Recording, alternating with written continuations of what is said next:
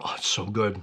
I actually don't know why more people aren't drinking this grape. I'm Matthew Horkey. For the last seven years, I've traveled around the world tasting thousands of wines annually in search of the most unique, exciting, and expensive bottles on the planet.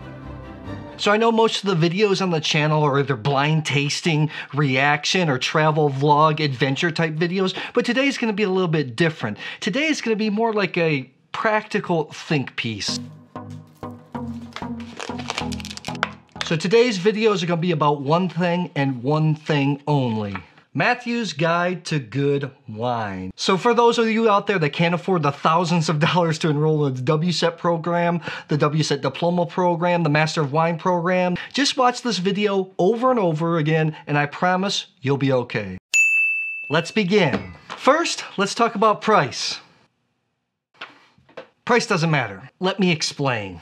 First of all, I gotta defend myself because there's probably some comments right now saying, you know, it's easy for you to say you get all these expensive wines sent to you to taste, to sample for free. You get invited to all these tastings, and that's very true. But I didn't always. Some of the most memorable wines in my life have been the least expensive. This is a picture of me back in graduate school when I was backpacking around Europe. I was drinking wine back then, but I didn't, you know, I didn't really know that much. I remember sitting down in the walled city of Lucca in Tuscany and ordering this liter of Sangiovese. It was a red wine. I assume it was Sangiovese. We're in Tuscany.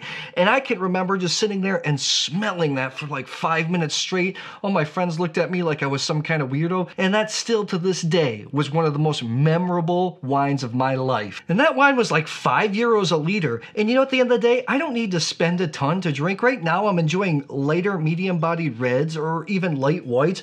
I have this Beaujolais right here, this Moulin-à-Vent for it was 25 bucks.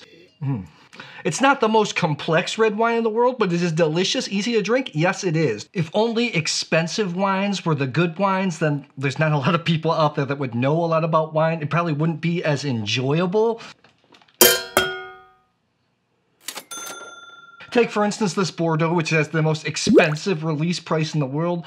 I don't know a ton of people that can afford to drink that kind of wine. So honestly, a few years ago, somebody gifted me a bottle of 2009 Liber Pater. I took it to a blind tasting with a bunch of collectors and we sat down, we tasted a lot of wines. Okay, it wasn't like a bunch of wine writers, it was just fun, but these were serious collectors. And while yes, the wine showed really well, a wine that came close, and I mean it was like neck and neck, was a Chateau Porto Carras from Greece. Liber Pater is a Bordeaux blend, so is the Porto Carras us. That wine is under 20 bucks in the US. I was taking casual notes. I scored the Liber Pater like 94. I scored the Porto Carras like 93, 93 plus. I mean, it was right there. And some people actually preferred the Porto Carras before we even revealed it. Really, it just comes down to your preference. That's what I want to talk about right now, the importance of you, your palate. But Okay, wait a minute. Before we get started, here's a quick overview of wines I recommend. If you really want to learn about wine, drink better wines, you got to get out of the supermarket, get to a wine shop. I actually made a video about how to choose wine at a shop like a pro. I'll put that in the description box below. Let's start out with Chardonnay. Chardonnay is super versatile because a bigger style, it can appeal to red wine drinkers. It can also appeal to those that like white wines. There are a lot of crap Chardonnays out there. One thing that I recommended if you're in the US is the Au Bon Climat Chardonnay from Santa Barbara County. It's only 20 to 22 bucks. I I think it's a fantastic wine for the money. The proprietor, the founder of the company, Jim Clendenin, passed away a couple years ago. Rest in peace, Jim. Wines are still beautiful. If you're in Europe, other parts of the world, there are good Chardonnays being made at affordable prices. Just ask your local shop. If you want to step up and drink like what I think the grape that offers the most bang for the buck in terms of deliciousness, complexity, you got to be drinking Riesling. They're super affordable. I know it's very intimidating. I would just go to your local shop, ask for an inexpensive dry. Look for the word Trocken. One that I recommend that's widely available is the Eroica. It's only 20 bucks, sometimes even 17 bucks. Oh, it's so good. I actually don't know why more people aren't drinking this grape. Pinot Noir is a grape that a lot of people like. A lot of times it's hard to get good value for money Pinot Noir. Me personally, the great Pinot Noirs of the world are made in Burgundy, of course. However, when I'm at a certain price range and I'm just not blowing a bunch of cash, I usually find Australian Pinot Noir, New Zealand, those from California, Oregon to be more dependable. I found recently last year a good one I can recommend. It's under 20 bucks called the Pinot Project made with fruit from Santa Barbara County. I'll put that right up there. Another option is a lot of times people go with Cru Beaujolais. It's made from Gamay, it's just south of Burgundy. You can get some really nice ones at 25 bucks. This one I just tasted earlier, Moulin-à-Vent, the Jean-Paul Dubost. 25 bucks. My, the most mind-blowing Cru Beaujolais in the world, but was it delicious? Was it good? Yes, it's very good. It's all about knowing your personal taste. For me, I love Chianti Classico Riserva. I just tasted this one on video, Castello di Ama Montebuoni Chianti Classico Riserva 2019. This is, okay, yes, this is a sample. I got it for free, but I've seen this in the US for 40, 45 bucks. For my palate, personally, I'm biased. To me, this is like a 95, 96 point wine. This type of wine I want to drink every day. You want a bigger, heavier wine? You want to look to Bordeaux? I think it offers more value for money. This is the Chateau Beaumont Haut Medoc 2018. Just tasted this on video. Found this under 25 bucks all around the world, sometimes as low as 17 bucks. Those want to step up and want to go to Napa, want to try Napa, some, one of the most prestigious regions of the world. It's also expensive. I have the Silverado Vineyards. This is the estate grown Cabernet Sauvignon 2018. It's listed at 60, but I've seen it as low as 35 bucks. I always recommend this wine. Also, if you like big red wines, I think Chateauneuf du Pape offers a lot of value. Look to Spain, Portugal. What about Merlot? The great people like to poo-poo on. No, if anybody orders Merlot, I'm leaving. I am not drinking any fucking Merlot! Some of the greatest wines in the world are actually Merlot-based wines. Wines like this, this is a Miani Filip Merlot. He makes a Filip and a Bourry Merlot. I think this is one of the greatest red wines I've ever had in the world, except it's super rare. The price is not very friendly. So we're looking about $300, $350 if you can find it. But if you want to step it up, you can go up to Chateau Cheval Blanc, one of my favorite wines of all time.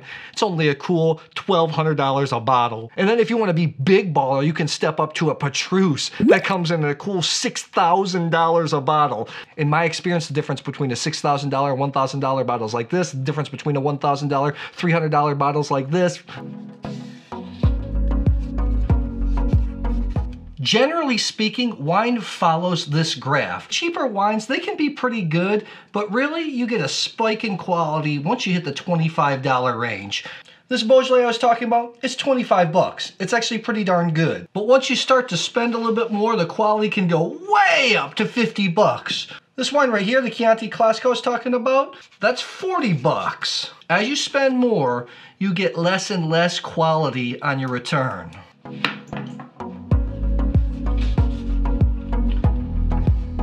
Your palate is what's important. Your palate is golden. Your palate is what determines what is a good wine. Your preferences, that's you, you, you. Let me do another diagram. Your palate is king. Your palate determines what wine is good. All of these things are trying to get in there and influence your palate. But this is the most important thing. Wine criticism is really hard because it's usually just one person or a panel trying to determine if a wine's good or not, but they don't know your palate. On top of that, our taste, our flavor is all based on neurology, which is so complex. Seriously, when I was a practicing chiropractor, I studied a lot of neurology. I remember one scientist, don't quote me on these numbers, something like 50 trillion bits of information are going through our mind every second, and we're only consciously aware of 50 of them. Now think about that. There are a thousand volatile compounds in a glass of wine. So it's super complex, a thousand different aromas. And if we're only conscious of 50 bits of information per second, how many of that is dedicated actually to smell? There's no wonder why wine is always changing. It's so complex because our changing, the way we process information is changing. Seriously, I remember being in a workshop with a perfume consultant. He had isolated all these different aromas, and I was sitting next to a collector, and they were passing out all these isolated aromas, and cinnamon came around. And to me, it was clear as day, but the guy next to me, the collector, he could not smell cinnamon at all. That made me realize, wow, everybody's palate is different. And on top of that, our preferences change. Do you want to eat the same thing every day? Some days I feel like Thai food, sometimes I want Indian food, sometimes I want Italian food. And that's what I love about Italy so much, the diversity of cuisine. And seriously, the only way to know what your particular palate is, what your preferences are, is you gotta taste, taste, taste. And thankfully, it's pretty easy nowadays thanks to technology, knowledge about working in the cellar, working in the vineyards. Good wines are being made all over the world. Even just 30 years ago, a lot of the wines were flawed, but now it's really difficult to find a bad wine. I love all the stuff that's around wine, the history, the culture. But I do know at the end of the day, it's just fermented grape juice. Some people say, why are you taking it so seriously? But you know what? We need people in the world to take different things seriously. Ultimately, a good bottle of wine keeps the people that you love at the table longer, keeps your family together longer, keeps a great date going longer, and the conversations just flow a little bit differently when wine's on the table. And I like to think of how many different decisions that affected the entire world took place in the last couple hundred years with wine at the table. Heck, the Declaration of Independence, it was signed and celebrated with a glass of Madeira. Let me know your thoughts in the comments below, and I'll see you in the next video.